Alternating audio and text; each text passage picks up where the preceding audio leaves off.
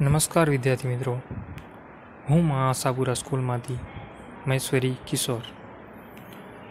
વિદ્યાર્થી મિત્રો, આજે આપણે ધોરણ આઠ વિષય સંસ્કૃતમાં પ્રથમ ચેપ્ટરનો ભાગ બે ચિત્રપ્રદાની વિશે અભ્યાસ કરીશું.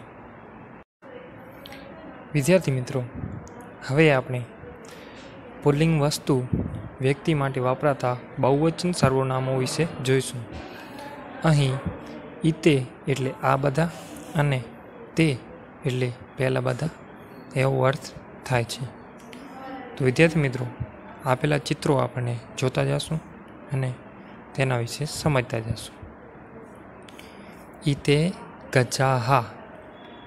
આ હાથીઓ છે. તે ગજાહા. તે હાથીઓ છે. ઈતે સસકાહ. આ સસલાઓ છે. તે સસકા તે સસલાઓ છે. એતે હંસાહ. આ હંસો છે. તે હંસાહ. પહેલાં હંસો છે. ત્યારબાદ આપણે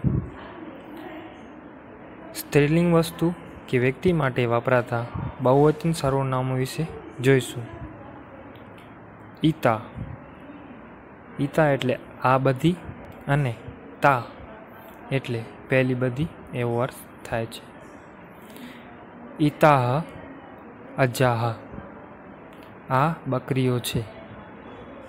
તા, અજાહ. પહેલી બકરીઓ છે એતાહ મહિલાહ આ છોકરીઓ છે તા બાલિકાહ પહેલી છોકરીઓ છે એતાહ ચટકાહ આ ચકલીઓ છે તા ચટકાહ પહેલી ચકલીઓ છે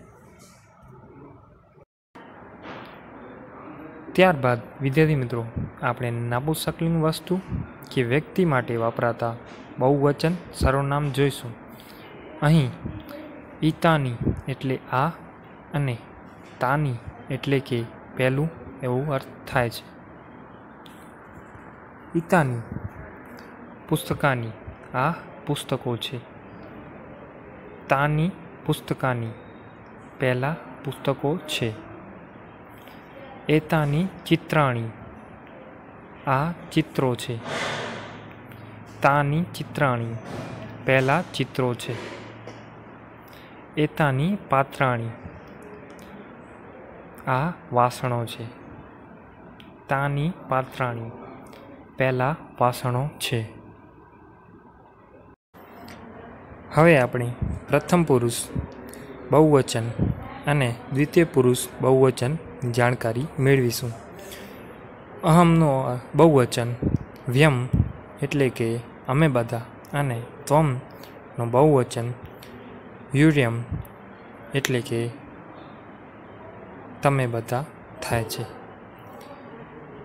વ્યમ શિક્ષિકા અમે શિક્ષિકાઓ છીએ. યુર્ય શિક્ષ સૈનિકા તમે સૈનિકો છો. વ્ય બાલકા. અમે છોકરાઓ છીએ. યુર્ય બાલકા, તમે છોકરાઓ છો. વ્યમ મહિલા, અમે સ્ત્રીઓ છીએ.